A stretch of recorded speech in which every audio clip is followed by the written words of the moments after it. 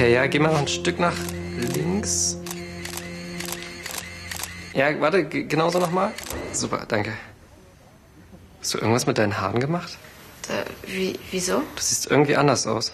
Also, eigentlich ist Styling nicht so meins. Ich will, dass meine Mitschüler mich so sehen, wie ich bin. Also, ganz natürlich. Können wir jetzt das Interview machen? Ein komisches Gefühl so vor der Kamera.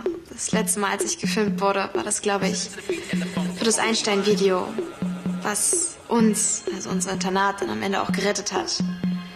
Und jetzt stehe ich hier als eure Schülersprecherin. Apropos, was ist dein Programm? Katiso.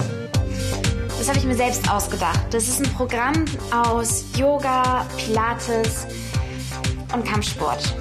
Es ist zwar ziemlich anstrengend, aber es lohnt sich. Müsst ihr unbedingt auch mal ausprobieren. Findet ihr im Netz unter Kati und Fitness. Ja, gut, aber was sind deine Pläne fürs Einstein? Ups, ihr seid ja immer noch da. Das hätte ich schon ganz vergessen, denn ich bin gerade in einer anderen Welt. Fantasy.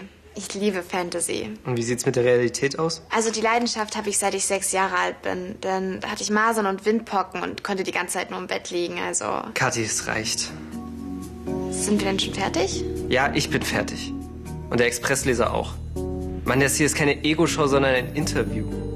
Also, was hast du als Schülersprecherin mit unserer Schule vor?